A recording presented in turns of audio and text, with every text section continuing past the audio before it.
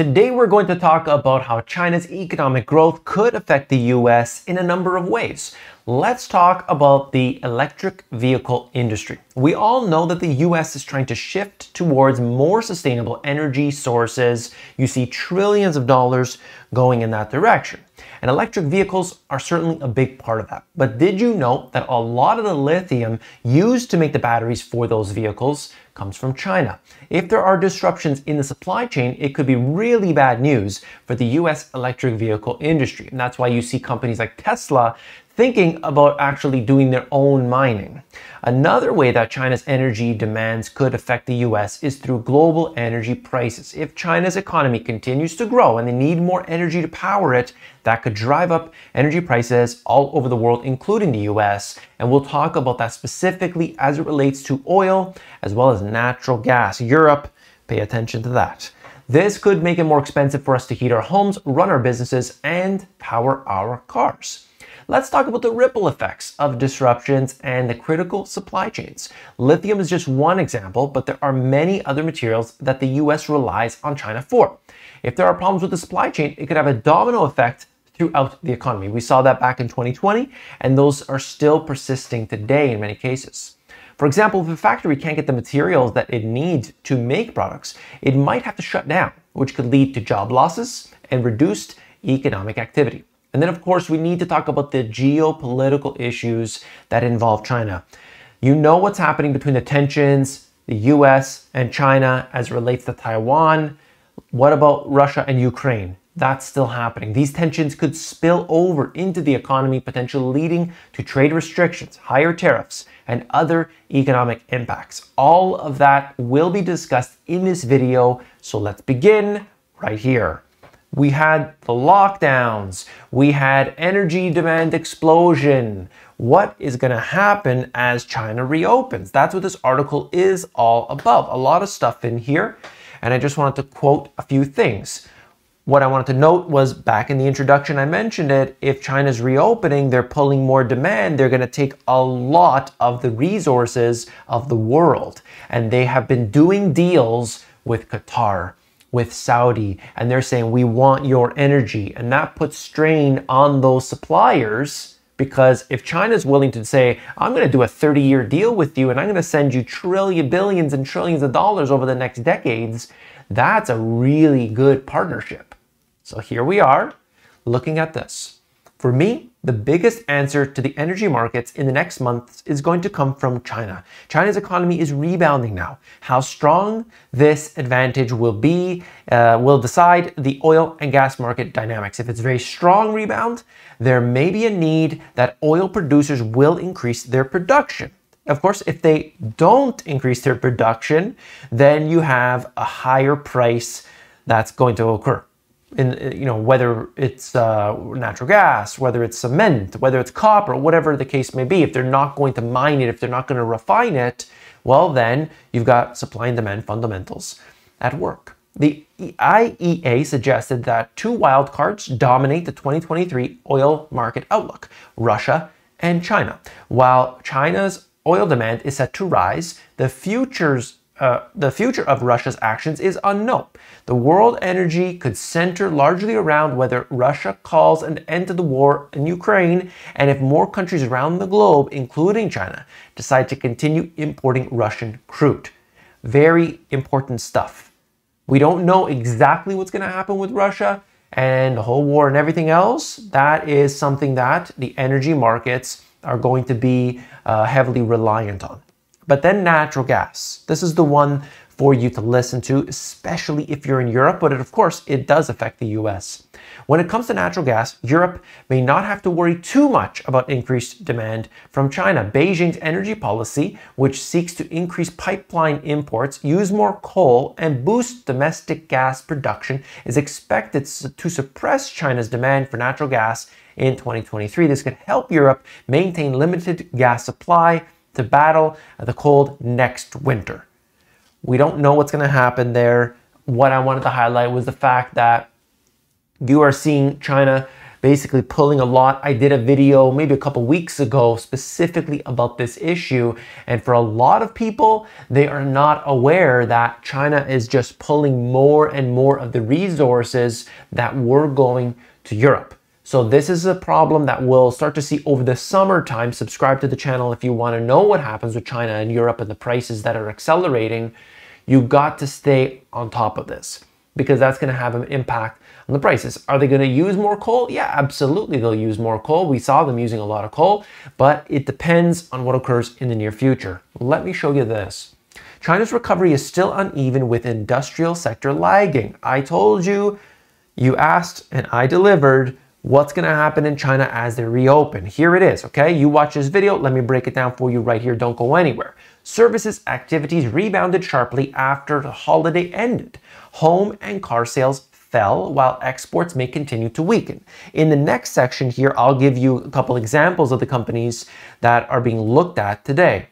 So you got to stay tuned. China's economy rebounded in February after the long holiday, although early indicators point to an uneven recovery with strong consumption following the scrapping of all lockdowns and so on, but lagging industrial activity. I don't know if that is necessarily going to be the case going forward. Uh, but what the problem here is that if other countries around the world, Europe, and let's just say European countries, or maybe it's the US, they're saying we don't need as much from you because we did buy a lot in 2020 and now we don't need that much anymore. There's not so much demand from our consumers that has an impact on China. Less activity at the ports, and of course, less activity going on um, in, in, general with the warehouses and uh, fulfillment and production in general, like actually producing the stuff. Raw materials get affected by that as well. So they just show you some charts and stuff uh, throughout here.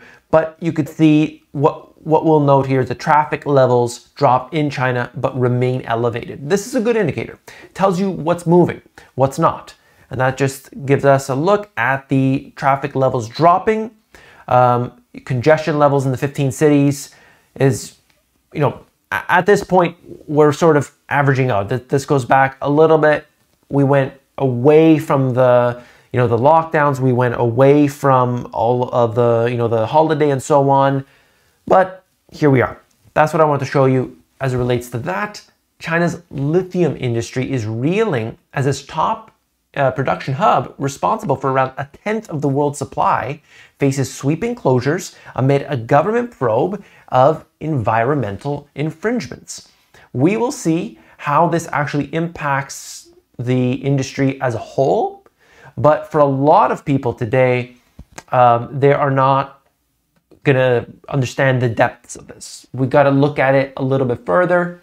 We got to see what happens in the coming days, weeks, and months. But of course, if there is a disruption, just like that happened in the financial industry in China, just like what we saw with the tech industry in China, if this is the next thing, we got a big problem. If this is just a one off, okay, it's a couple weeks and we move on, no disruptions. We'll see what happens here. I'll bring you some updates. Stay tuned for that. Next section, I want to show you. The rally in China's technology stocks is fading fast. Alibaba tops the losses in the Golden Dragon Index despite profit beats. So the company did well. Hey, but it's not how it works because speculation is above all else when it comes to the stock market. Funds are worried about geopolitical tensions and, of course, the growth outlook. Well, I'll show you the charts that they have over here. This is basically the tech stocks. And you could see that they had peaked out uh, right around when China was going on vacation.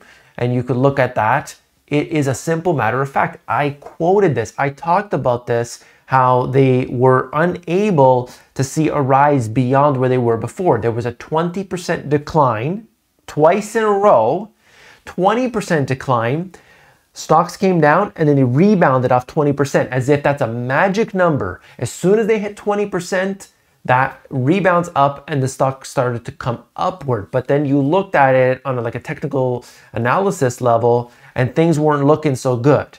That's what I brought to you in a previous video and I'm just showing you an update on that. They have declined quite considerably when you see that.